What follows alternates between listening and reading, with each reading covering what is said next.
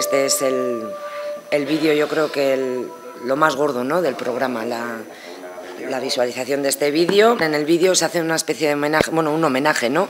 a todas aquellas personas que han contribuido a difundir la historia de, de nuestro municipio.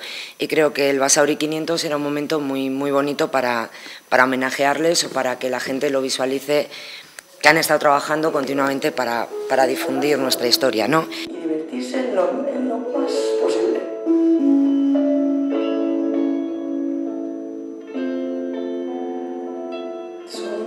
Personas a las que podrían calificarse las orgullosas de la antiglesia de San Miguel de Basauri, pues porque eh, previamente a 1510, que es cuando se produce la desanexión, eh, esta antiglesia dependía de Arriorreal.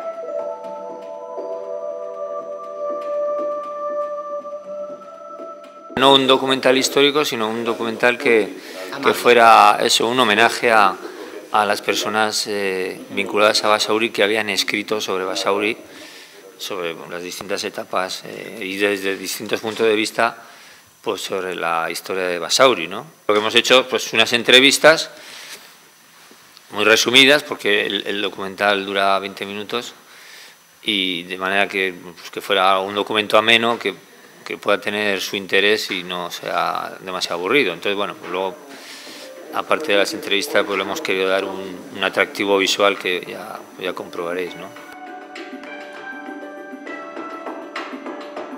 eh, Artunduaga, Ariz, Artegoitia, eh, también podríamos citar Goiri, Uriarte, Uribarri, Fínaga. En Basauri existía un programa, de hecho existe, bueno, existirá el año que viene, en una partida que es la beca de investigación, ¿no? Entonces, estas seis personas son bueno, ganadores, por decirlo de alguna manera, de aquella beca de investigación. Entonces pensamos que mejor que, mejor que los ganadores de esa beca para incluirles es como el colofón ¿no? de, de ese programa en el Basauri 500, incluirles a todos. Eh, cada uno, como ha comentado Iñaki, tiene sus... José Manuel Mates Luque, arqueólogo, si no me equivoco. Eh, bueno, yo a Román García no tengo que explicaros ni quién es, creo que todos le conocemos, le queremos. Iñaki Odriozola también con blasones, escribió un libro. John Arreche, pues ya sabéis, ¿no?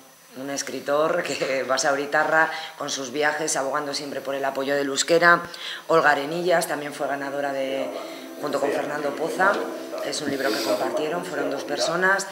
Y, y bueno, José Manuel Azcona Pastor, lo mismo, ¿no? creo que no necesita tampoco que decir, no es que se hayan elegido a estas personas, sino que estas personas son las que han trabajado y en, en esta beca de investigación. Miquel Alvira, historiador, ha sido, es una persona de nuestro equipo. Me había olvidado, Como no ha venido, no ha podido sí, venir. sí. Y ha sido un poco el coordinador y guionista de, de la historia. Ah, eh, hizo los tuvo los primeros encuentros con los historiadores y bueno, fue, perfilando el contenido de las, de las entrevistas. ¿no?